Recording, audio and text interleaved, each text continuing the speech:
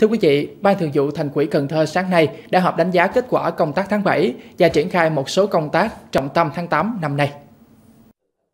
Tháng 7, Thành ủy và các cấp quỹ đảng tổ chức nghiên cứu, học tập quán triệt nghiêm túc nghị quyết hội nghị lần thứ 5 Ban chấp hành Trung ương Đảng khóa 13 bằng hình thức trực tuyến từ Trung ương đến cơ sở.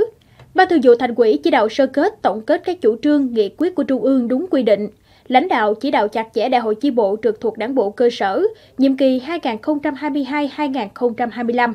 Đến nay, có 956 chi bộ tổ chức đại hội, đạt 40,8%. Chỉ số phát triển sản xuất công nghiệp tăng 57,08% so với cùng kỳ. Tổng mức bán lẻ hàng hóa và doanh thu dịch vụ ước đạt gần 17 tỷ đồng, kim ngạch xuất khẩu hàng hóa và doanh thu dịch vụ ước đạt 225 triệu 600 ngàn đô la Mỹ. Thành phố đón 361.100 lượt khách đến tham quan du lịch. Công nhận 15 sản phẩm ô cốp, nâng tổng số sản phẩm ô cốp toàn thành phố là 56.